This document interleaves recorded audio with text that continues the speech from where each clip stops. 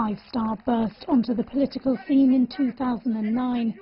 Founded by comedian Beppe Grillo, the movement gathered momentum as he railed against everything from the euro to corruption to Italy's rigid political and economic system.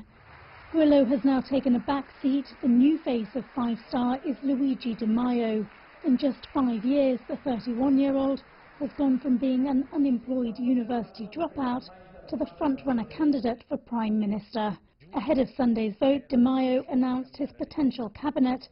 Almost all of them are political newcomers, something that appeals to Carol Malone, who, like other five-star supporters, is disillusioned and angry with Italy's traditional political elites. When I saw this team of ministry that he uh, was presenting, and I saw the kind of people uh, uh, that were all professional.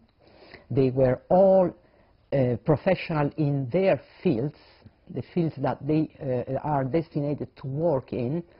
And I've uh, heard their vision. I said, maybe we are going to make it this time, to make an experiment.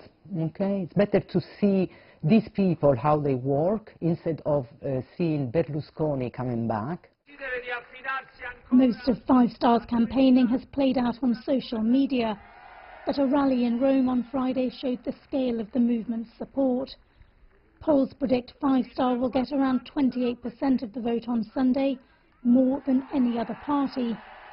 But to form a government, they need 40% of the vote, and they've ruled out forming a coalition, although that could change. Clearly, it's the only way they're ever going to get into government. And I think Di Maio is, uh, the young leader, is uh, ambitious. Think he would like to be Prime Minister, and that's the only way he's going to be Prime Minister. So. Five Star has always cherished its reputation as the ultimate renegade.